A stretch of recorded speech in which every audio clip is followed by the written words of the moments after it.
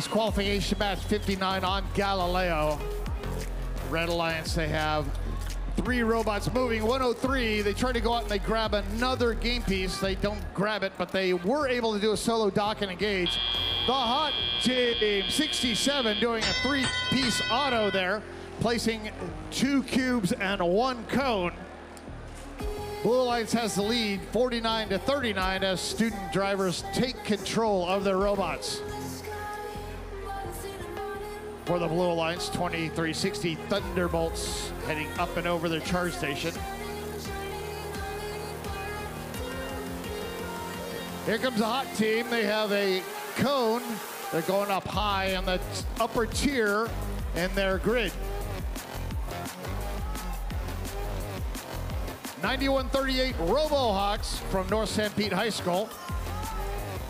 They're just playing a little defense there, trying to make it difficult for the Blue Alliance to get back and forth. They temporarily slow down Orbit as Orbit comes over. Orbit just throws a cube over towards their grid. 2360 Thunderbolts from Israel. They grab a cone, they head over to their grid, looking for an intermediate, the middle position to place that. Cybersonics going up and over for the Red Alliance, grabbing a cone from their loading station. They run into their alliance partner 67, the hot team. 113 to 109, now 113 to 120. Very close match. Red has the lead, 45 seconds remaining. Both alliances are very close to getting the sustainability bonus. They both have four links. Red Alliance got the sustainability bonus. Now they have six out of five required links. 30 seconds remaining.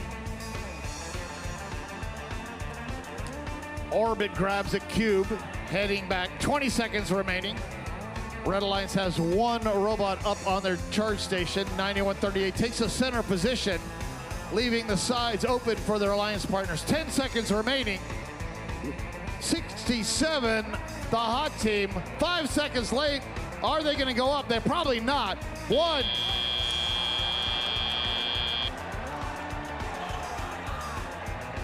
Red Alliance getting handing Code Orange their first defeat here in Houston.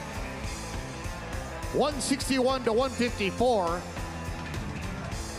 Red Lions gets four ranking points from that. 103 goes up to rank number seven.